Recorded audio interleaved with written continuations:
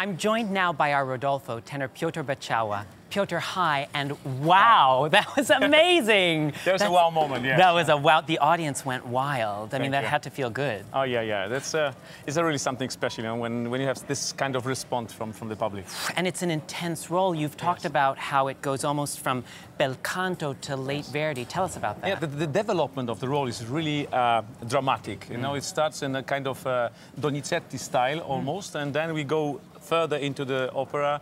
It's going drama- more dramatic and more dramatic, and we are now uh, uh, expecting a really Otello moment, uh, and Wow. it's really also musically and vocally very, very different. It's difficult too. I mean, it Oh, yeah. sounds easy to you, but what's the hardest Yeah, part of it? That's my job to, to, to, to uh, show the people how uh, easy it could be, but uh, the drama is there. You know, you have to find amazing intensity in, in this kind of uh, roles, and uh, you know, it's pure Verdi. You know? He tried to. Uh, find some situations for his later operas, you know, even like you know, from Otello. Absolutely. And in shaping the role, have you worked with conductor Bertrand de Billy in terms of making Oh it yeah, you know, it's, it's my third uh, role debut in, in this season after Adriana, uh, uh, Carmen, and uh, Rodolfo in Luisa Miller. But no, we got really enough uh, time to, to, to prepare it well because we got a couple of weeks rehearsals, and I know Bertrand very well. We have fantastic cast, and that's, Oh, it's uh, amazing. But do you, when you're doing this as you're going, do you think about pacing yourself, saying, go easy here, give more here? How does it work? Yeah, it's a good question. Uh, actually, not. No. No, because I know what I can, what I can't. And, That's amazing. uh, So you have it in yeah, your body. Yeah, yeah, you have to play. On the stage, you don't have to think about uh, technique or uh, save some voice or whatever. No, no, no. You have to really play uh, what you have to play.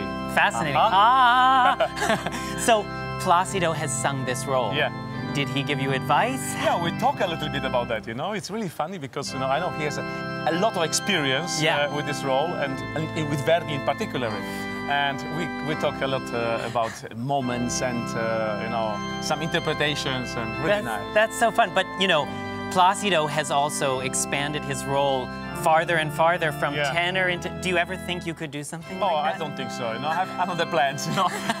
but I appreciate it very much. You know, Yeah. this kind of uh, unique experience uh, with his, uh, you know, whole repertoire is really something very special. It's kind of amazing. So, Yeah. without giving the plot away for Act Three, what would you say is what you're looking forward to doing most?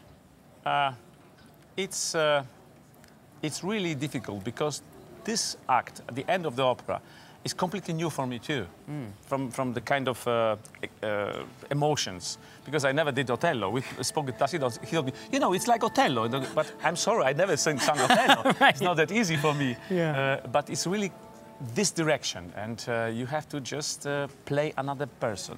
Yeah. Bertrand told me you have to start this, the last scene like nobody will recognize who is the guy. Also vocally, you have to change the voice a little bit, you know, settle down and make it darker. Wow, well, we'll be listening for all these new colors and character changes. I'm so excited for Act Three. Piotr, Thank you. so much. Thank you. Congratulations and toy, toy, toy. Thank you very much. Yeah. Greetings for everybody watching us, Yes, greetings to everyone. especially in Poland. Hi.